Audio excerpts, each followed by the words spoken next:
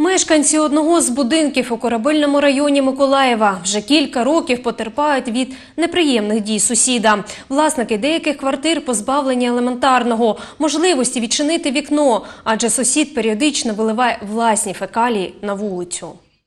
Як каже прислів'я, купуючи квартиру, купуєш сусідів. Хто проживає поверхом вище, подружжя Кочелаєвських не одразу зрозуміло. Старший власник проблемної квартири давно помер від пияцтва. Лишилася його дружина та син. Останній рідко виходить на двір через проблеми зі здоров'ям, але про себе дає знати постійно.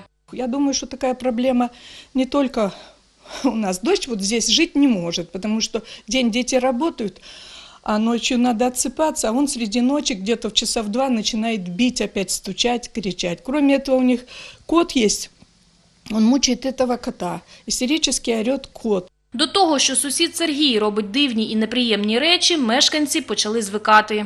Постоянно стучит. И ночью, и днем. Я не знаю, то ли молотком, то ли э, вот этим подшипником, я не знаю чем-то. Ну, чем-то железным. Так, бумс, ты В общем, целыми днями и ночами. У меня ребенок уже боится. Ну, мешает он. Я боюсь, что он когда-нибудь возьмет, включит газ. И все, и подорвет нас. Да, не дай бог, это вот и рванет что-то, откуда ж я знаю. Это ж такой, наверное, человек, что лечить, может, надо, скорее всего. Сусіди навколо неодноразово просили матір чоловіка вплинути на сина. Просили маму, чтобы она э, что-то, если с человеком не в порядке, чтобы обратились куда-то. Вот. Соседи ругались с ними. Мать сказала, что это проблемы. э, Не, не ее, кому надо, тот пускай и обращается. Это было 4 года тому назад. За пройдений час проблем від дій сусіда побільшало. Тепер відчиняти вікна ризиковано, адже Сергій періодично виливає власні фекалії та помиї з шостого поверху. Сусідам уривається терпець. И что интересно, что здесь очень многие отсюда, уже и с верхних этажей, и снизу, м, не выдерживают, продают квартиры и уходят.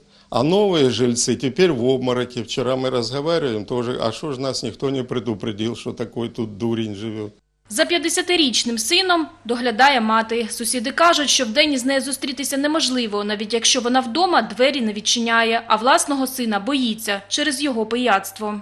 А- Она приходит, мать его, Любка, говорит, ты представляешь, скоро уже в 32-ю квартиру все поразбивал, скоро и кирпичи будут туда падать. І мешканці будинку, і дільничий офіцер підтверджують, у квартирі, де проживає Сергій, повна антисанітарія та катастрофічний стан комунікації. Профілактичні бесіди він відкрито ігнорує. У них же унитаз разбитый. Вообще не рабочий. Да, з комунікаціями плохо все, Да, э, воду он сломал, стены все побил, стучит, люди ему мешают. Ну, в общем, там одно к одному. Но здесь должна вмешаться социальная защита, которая определили бы его куда-нибудь, потому что работать он не может. За кілька років Людмила та Віктор назбирали чимало скарг та звернень до поліції і адміністрації корабельного району, але дії, хоч і неадекватні, чоловік здійснює в межах приватної власності.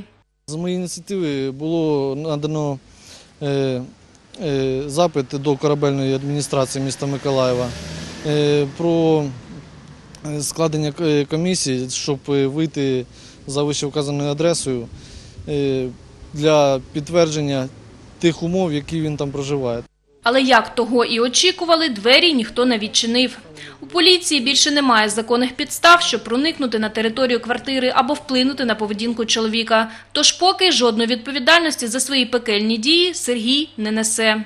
Ганна Бадіна, Богдан Іванов, Юрій Руденко. Телевізійні новини Миколаївщини.